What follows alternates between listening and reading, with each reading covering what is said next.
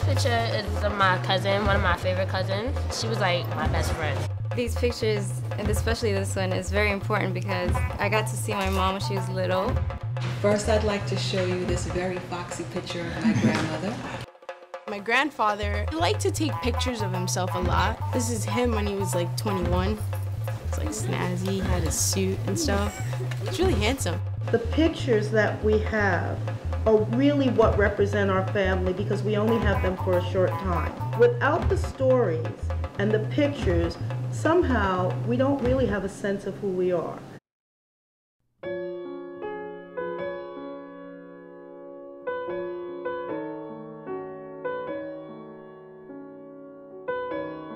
So I brought too many pictures, but that's okay. my mother's family was better documented than my father's.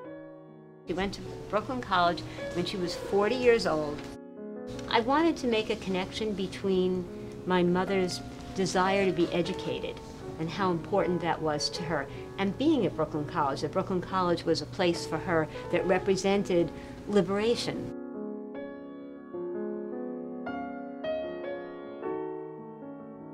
Just a funny story about me and my mom. We were walking out of a supermarket and an elderly woman said, You know, you guys make such a cute couple. and I was like, Okay. This is in, I believe, 1994. I was five years old, and my sister was 15. My mom came here when she was 18 from Dominican Republic, and she left my sister there with um, her godmother to take care of her. So it was like the first time that I really, you know, got to spend time with her. I met her when I was like four. So it was our first birthday together. Here's my mother smiling for the camera, pissed as hell that my father went into the army and left her with a little kid. He was on the equivalent of MASH in World War II, but on a boat. And they were at many of the major major battles. He came home pretty crazy from it, actually. But they also had a great time, you know, just like MASH. It's very important for us to remember where we came from.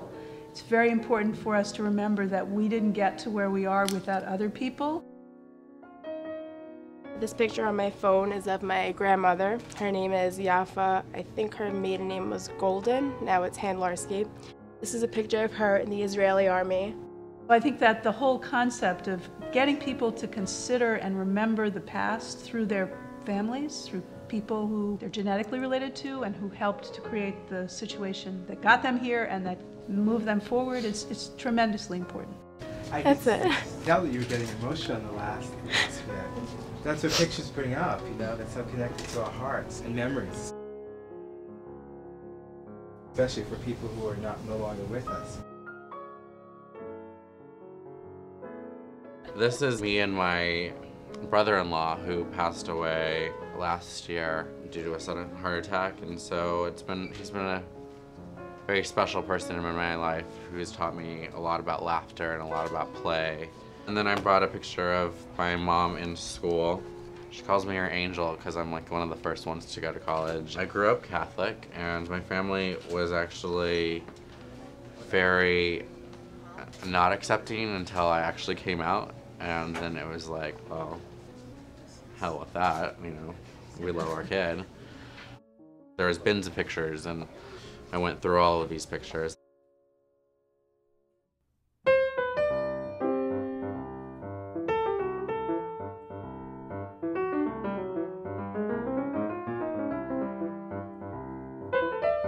My favorite one is with me, my mother, and my brother.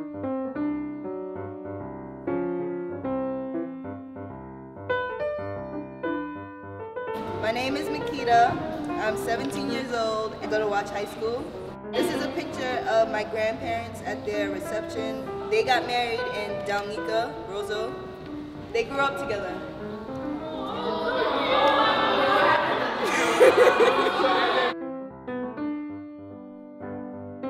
it's very important to know your history. Not only your cultural history, where you come from, but your family history.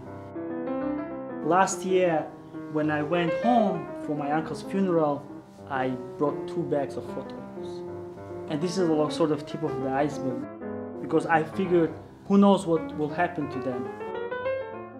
And I'm in the process of preserving them at home. The real reason why I decided to do this project is because my mom was in surgery a few days ago, and these moments are so precious. 'cause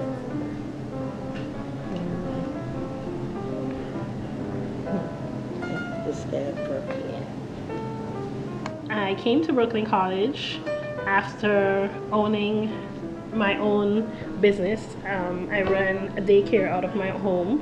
I am the oldest of six girls and one boy. This is one of the girls, which is now 21 and going to college. This is the next one. She's 18, also is going to college. This, these are the only baby pictures. Photographs really embody for us that opportunity to look at a complete narrative. This is who I am and this is where I come from. But it also allows us to kind of reflect a little bit on where we're going with this.